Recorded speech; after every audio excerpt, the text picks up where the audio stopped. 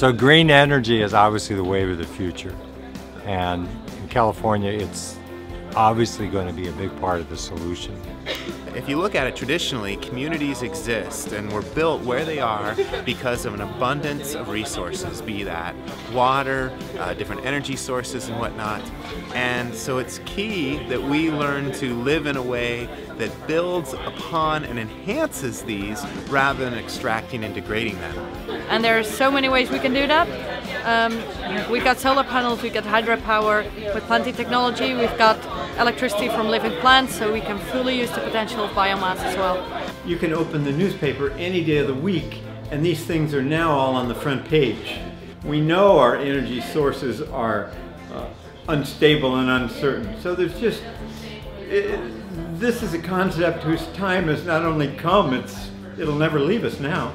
So I think the conference is I think Vicki and the folks at Coneybeare are brilliant to put on a conference like this in this place at this time.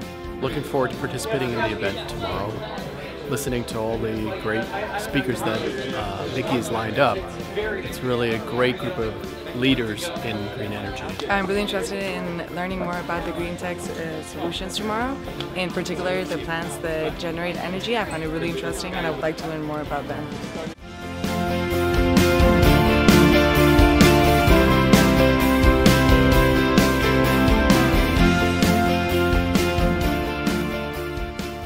I've always been interested in building practices and wanting to be able to live in harmony with nature and also to take nature as a cue in, in building practices. But beyond that, I also have a renewable energy and uh, clean technology recruiting firm. So recruiting is all about connecting people, and this conference was another way to connect people with great ideas, uh, great products that need to get out and be seen by the world, and all the people that are interested in not only being in the conversation but taking action to make the world a more sustainable place and creating the future that we all want to live into.